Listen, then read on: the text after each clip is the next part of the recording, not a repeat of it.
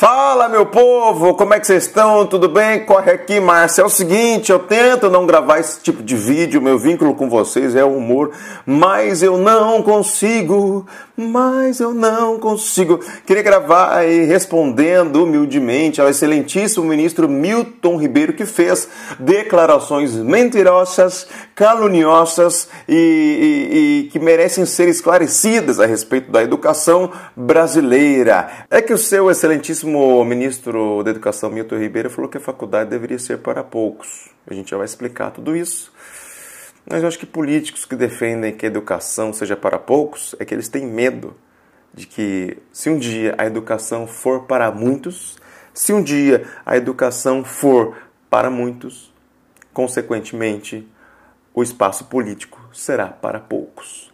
O dia que efetivamente a educação for para muitos, o espaço político será para poucos, porque nós saberemos votar melhor, escolher melhor, cobrar melhor e fiscalizar melhor. Então, o político não investe em educação porque não dá voto e porque ele teme que um povo esclarecido é um povo que vota com mais lucidez. E muitos dos que estão falando aí talvez não estivessem nesse lugar de fala. Mas o que esperar de um governo que vem. É, que você tinha um Weintraub na educação?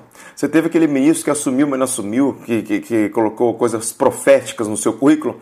Ele colocou coisas que ele não tinha ainda, colocou pela questão da profecia. Eu acredito que eu ainda vou ter.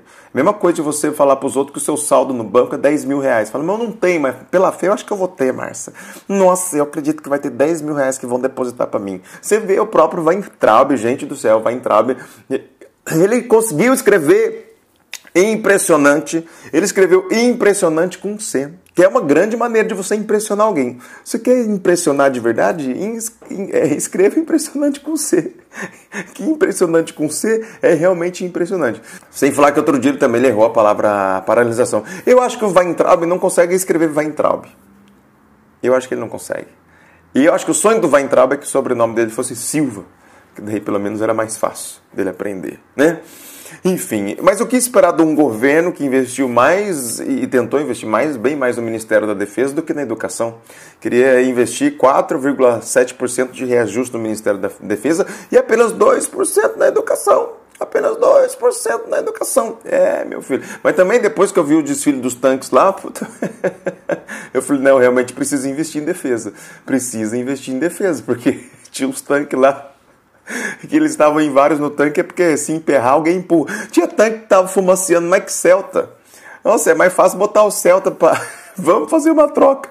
Coloca o Celta dos professores do Ministério da Defesa, porque estão funcionando melhor que os tanques. Mas eu entendi, eu, eu tentei entender o que o excelentíssimo ministro Milton Ribeiro ele quis dizer. Né? Que ele, ele disse o seguinte, abre aspas, a educação, a faculdade, ela deveria ser para poucos, no quesito da empregabilidade, tá? No quesito da empregabilidade. Só que assim, excelentíssimo ministro, a educação é, superior, a faculdade, ela não deveria ser para poucos no Brasil, ela já é para poucos, querido.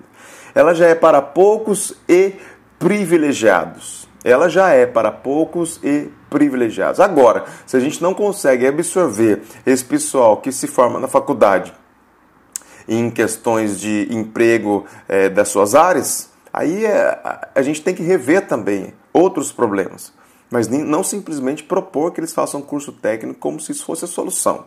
E a gente já vai chegar lá, calma, a gente já vai chegar lá. E aí vem a comparação com a Alemanha, que eu não gosto muito dessa questão da comparação com a Alemanha, mas vamos lá. Que uma das coisas que defendem é assim, não, que o Brasil, comparado a outros países, investe uma grande porcentagem, ou uma razoável porcentagem do seu PIB. O Brasil investe cerca de 4% do PIB. A Alemanha também vai investir ali 4,8% do PIB. Olha só, gente, não está diferente deles. Mas o PIB da Alemanha é um pibão, né? São 3,3 trilhões. É um PIB, assim, botar o PIB na mesa, blau. Você entende? Então, é um PIB muito maior do que o nosso. Se você for considerar por é, investimento per capita por estudante, eles investem muito mais do que a gente. E aí o ministro falou uma coisa que eu achei surpreendente. A Alemanha ela dá atenção, a, são poucos os que fazem universidade. Universidade, na verdade. São poucos os que fazem universidade, o que é uma mentira. Mentiroso. A Alemanha tem 2,8 milhões de pessoas na educação superior. Isso representa 31% dos jovens entre aí 25 e 34 anos, vamos considerar uma idade de uma média dessa educação superior. Representa 31%. Se a gente considerar outros países da OCDE, representa 44%. Sabe no Brasil? No Brasil apenas 21% estão na educação superior. Nós temos 8 milhões, cerca de 8 milhões na educação superior, mas somos 210 milhões de pessoas. Ou seja, no Brasil nós temos percentualmente menos pessoas na educação superior do que na Alemanha. Ou seja, na Alemanha eles procuram mais faculdade do que a gente. Ou seja, quando você fala que na Alemanha eles não procuram fazer faculdade, é mentira. Eles estão fazendo mais faculdade do que a gente aqui. Você entendeu? Não para de falar essas coisas. Lá o investimento per capita no ensino superior chega a 17 mil dólares, é cerca de 17 mil dólares. Aqui a gente está em torno de 11 mil dólares. 17, 11, 7, 1. Nossa senhora, outro 7, 1 da Alemanha, né, gente? Eu achei que fosse só no futebol, mas na educação eles também estão dando uma lavada. Ô, oh, Jesus. Então vamos para a questão da empregabilidade, que é o que ele quis elucidar. Ele falou: como a gente não consegue absorver esse cara que se forma na faculdade na sua área, seria mais viável que se ele fizesse um técnico de informática. Tem engenheiro que é Uber, tem advogado que é Uber, e lá na Alemanha é diferente, porque eles priorizam o técnico. A gente já falou que é uma mentira aqui, porque eles fazem mais faculdade do que a gente. Mas nessa questão da empregabilidade, vamos comparar? Aqui os brasileiros que fazem técnico, ah, o nível de empregabilidade, a taxa de empregabilidade não é ruim, é boa. É, chega aí a 70%, aí a média, 7 em cada 10 conseguem emprego na área das pessoas que fazem técnico. Não é ruim. Nos cursos de meio ambiente, é um dos que tem maiores taxas, 86% de empregabilidade. Mas o que é meio ruim, porque se a gente investir muito em estudar meio ambiente, a gente sabe que esse governo não gosta muito do meio ambiente. Aí lá na frente você não vai conseguir emprego. Mas enfim, só que aqui que está a diferença. Do Brasil, os que fazem universidade, os que fazem universidade, Apenas 15%, segundo a NUB, Núcleo Brasileiro de Estágio, apenas 15% dos formados conseguiram estágio na área. 15% dos formados. O Brasil registrou uma queda de 40% nos últimos anos de gente que se forma e consegue trabalhar na, na, área. Uma queda de 40%. Já na Alemanha, aqueles que fazem faculdade, deles, 87% conseguem emprego na área. E no ensino técnico, 86%. Ou seja, tanto quem faz faculdade lá quanto quem faz ensino, técnico consegue trabalhar em relação ao que estudou. Agora no Brasil, não.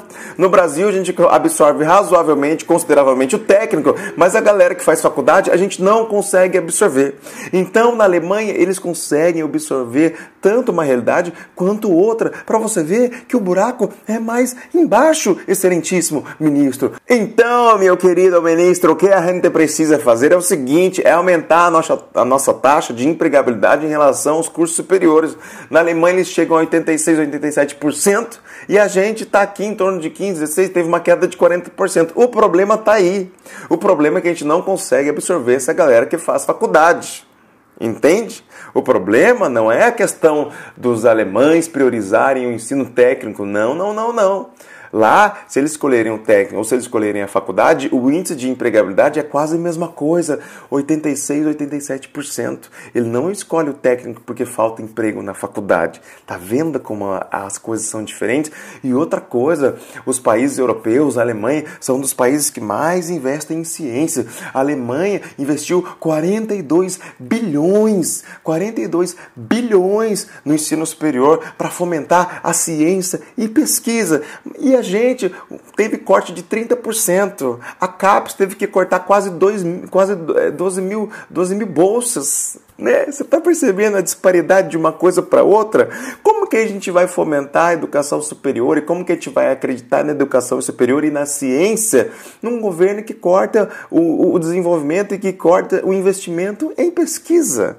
Não é mesmo? Então a gente poderia estar tá também absorvendo esse pessoal que se forma no ensino superior para trabalhar em pesquisa, para trabalhar em artigo acadêmico, para estudar e para desenvolver ciência em prol do desenvolvimento do povo, desenvolver ciência e tecnologia. Mas é que esse governo e que a gente não acredita muito em ciência. A gente não dá muito crédito para ciência. A gente prefere dar crédito para outra coisa, para achismos, para simpatia. E para isso não precisa estudar, não é mesmo, excelentíssimo ministro? Então, quando a gente for comparar Brasil e Alemanha, que pelo menos a gente seja sincero e íntegro nas comparações que a gente for fazer, tá bom? E não tenta trazer um discurso, uma narrativa, tentando justificar os problemas e, e tentando inventar uma solução que não é ideal para o nosso sistema educacional, nem tampouco para a nossa solução de empregabilidade. Tá ok? E para finalizar, ele diz que maus professores que fomentam a vacinação deles, que foi conseguida, ele diz que esses professores atrapalham a volta às aulas, que daqui a pouco eles vão querer que as crianças se vacinem, que os cachorros se vacinem, que os gatos se vacinem. Não, filho, o que atrapalham as voltas às aulas não são os maus professores que fomentam a vacinação. O que atrapalha a volta às aulas são os maus políticos que não fomentam a vacinação, que não investem na, na vacinação. Se nós já estivéssemos muito mais vacinados, se nós já estivéssemos numa corrida é, mais eficaz da vacinação, a economia já tinha retomado melhor. Ah, as aulas já tinham retomado com mais segurança, porque não sei se o senhor já teve a, a, capacidade ou a disposição de visitar uma escola do ensino infantil e fundamental, o senhor vai ver que elas estão muito, muito longe dos protocolos adequados. E não nem estou falando da questão do Covid, da questão da saúde. Elas estão longe dos protocolos adequados para uma qualidade de vida, entendeu? Uma qualidade de vida, não tem acessibilidade, os alunos não têm, faltam básico, elas não têm o básico, não é que elas não têm álcool gel, não têm distanciamento, não têm máscara, elas não têm o básico, senhor ministro. Existe uma lacuna na educação brasileira. Então a vacinação é só um dos pilares necessários para a volta às aulas, é só um dos pilares necessários para a educação brasileira, porque seria necessário muito mais. Seria necessário uma verificação de que a escola vai ter álcool em gel, uma verificação de como a escola vai manter o distanciamento, uma verificação de que os alunos vão ter todo o subsídio em relação à máscara e tudo mais. Mas por que, que eu estou desacreditando se vai ter? Porque não tem nem o básico. Não tem o básico, às vezes falta a estrutura básica. Tem dois ventiladores, só um, só um funciona. Tem um ventilador, ele não funciona. Às vezes a, a não tem carteira para todo mundo. Às vezes um kit multimídia não existe. Então não tem o básico para a educação. Tá? Então, não são, mais uma vez repetindo, não são os, os maus professores que prejudicam as voltas às aulas, são os maus políticos que, que prejudicam não só a volta às aulas, mas também a volta da economia, a volta da saúde, a volta da esperança, a volta de tanta e tanta coisa. Então, antes de apontar o dedo para o coleguinha, antes de tentar achar o culpado, seria muito bom que os políticos examinassem a sua própria consciência para ver que antes de apontar, será que eles não poderiam fazer mais e melhor pelo povo, mais e melhor pela educação, mais e melhor pela saúde? Eu acho que isso é, resultaria em um desenvolvimento e uma eficácia muito melhor, muito melhor. Então, antes de apontar o dedinho, seria muito interessante que a gente fizesse um exame de consciência para ver onde é que a gente está errando, tá? Então, um beijo para vocês, todos os professores que estão trabalhando, que estão se desgastando muito nessa pandemia, trabalharam muito mais e que sim querem voltar a volta, querem ter a volta às aulas, porque depois quem vai lidar com toda essa defasagem pedagógica vai cair nas costas do, do próprio professor e ele vai sofrer duas vezes mais tarde lá na frente e ele quer minimizar esse sofrimento, tá? Beijo de luz, compartilhe esse vídeo, compartilhe esse recado, vamos espalhar isso para as pessoas terem mais consciência e mais lucidez na hora de falarem um pouco, para não falar tanta coisa equivocada e para depois a gente ter que vir aqui e ficar explicando de novo, pelo amor de Deus, mais uma vez, já não bastou o deputado lá. Ah, Jesus Cristo, compartilha, curte e é nós, estamos juntos.